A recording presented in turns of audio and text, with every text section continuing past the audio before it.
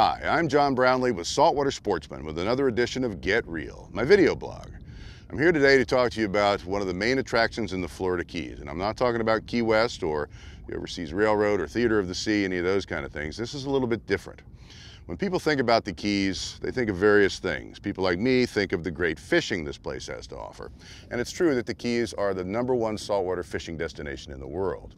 Some people like to dive. They think about the beautiful coral reefs we have here.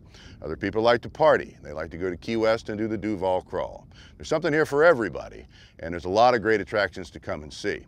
But one of the least known attractions and one of the weirdest lies right near my hometown in Islamorada, and I'd like to take this time to introduce you to the infamous Toilet Seat Channel. Now, Toilet Seat Channel was started by a bunch of local people who thought it'd be fun for some reason to put their toilet seats on sticks and line the channel with them. And these toilet seats are adorned with uh, many interesting messages. You know, dead loved ones, dead pets, alive loved ones, uh, just crazy stuff.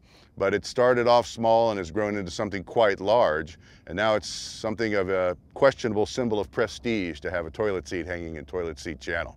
There's a whole bunch of them, as you can see.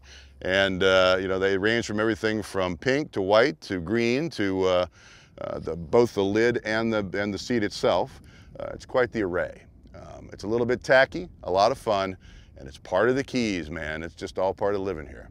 There are serious fishermen, there's serious divers, and of course, there's people that just like to have fun. It's all about the lifestyle. And Toilet Seat Channel embodies that last thing like nothing else that I know of down here at all. Anyway, next time you're in between Tavernier and Islamorada, come find it, Toilet Seat Channel. It's just south of Tavernier Creek, and it's kind of fun to look at. For Saltwater Sportsman, I'm John Brownlee. Get Reel.